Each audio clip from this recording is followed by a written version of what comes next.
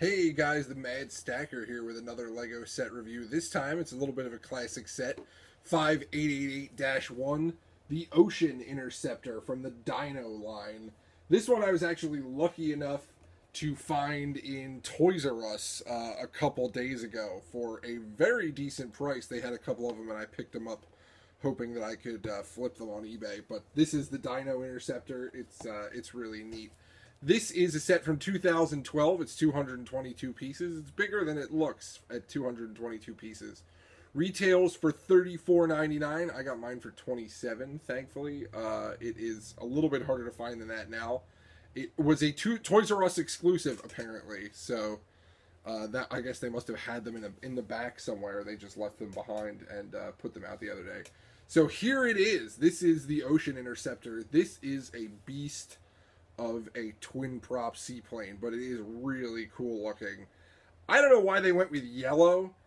Uh, I understand it's it's kind of supposed to be like a Jurassic Park sort of a line, so the the bright neon yellow. I don't really know why they went with that. Uh, it does. I mean, these the, the just the the two side wings, the pontoons, and everything. It looks really cool. It looks almost like some kind of crazy spaceship. Uh, I don't know if the uh, the red zebra stripes are doing it any favors in that department, but it does have a, a bunch of really neat features.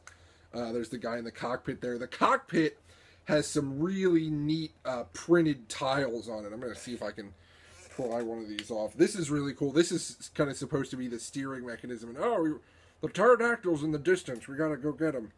That just flicks right in there in the front it's I mean it's a it's a really solid set too, which is nice. I feel like it would stand up to some uh, some serious play, so that's always good. It does have a couple of really neat features. Uh, one of the main ones being this thing in the back here kind of pops off if you can get it out. There we go. I have him laying down right now so that he can fit back there because if he's standing up, he doesn't really fit while the thing is standing under the plane. But he's got uh, there's this little jet ski that detaches from the back with the uh, the hero ballistics vest, which uh, apparently he's only in this set. I don't know if he's only in this set in this combination with the hair or what, but uh, he's pretty extreme looking. I really like this concept. I hadn't thought of this before, but they have these uh, the clip a, a, version of the clip rifles, which they have now with a lot of the movie sets. But uh, this one obviously looks a little uh, a little more rugged. But they, they just shoved a syringe in there and now it's a tranquilizer rifle. I really like that. I think that's a neat a neat idea.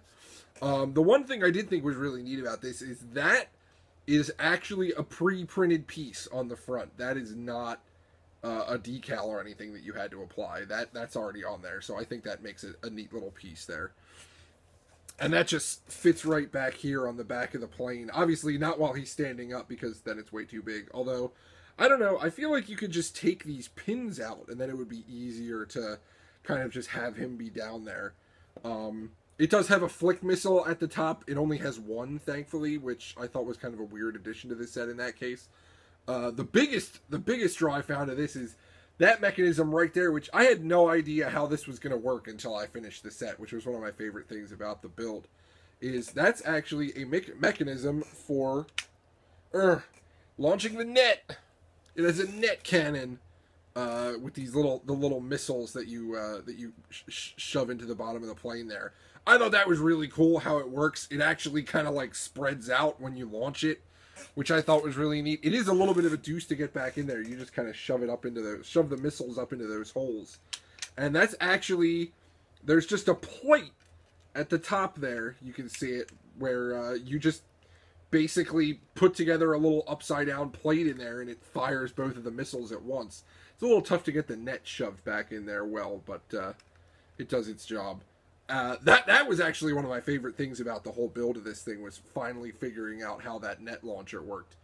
Uh, the decals were a little iffy.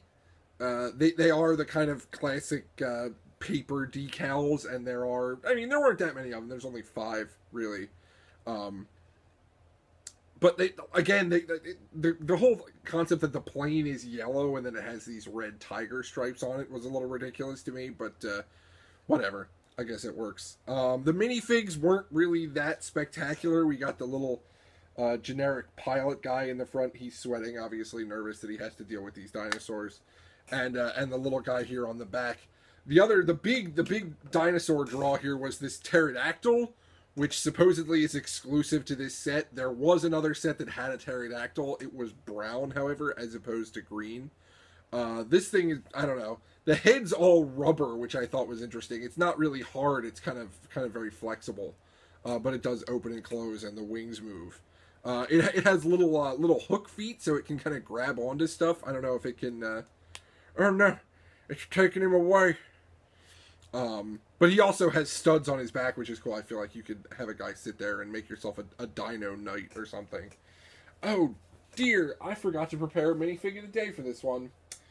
Oh well, you'll just have to live without one. I think today will be fine. Um, awesome extras. There was one. It did come with, barely see it, of course, an extra syringe. Uh, it's always nice to have an extra syringe, I think, for all your syringing needs. Uh, but that is going to be it then for the Ocean Interceptor. Uh, I thought it was a neat set. I was glad I got my hands on it. Uh, and I hope you enjoyed it.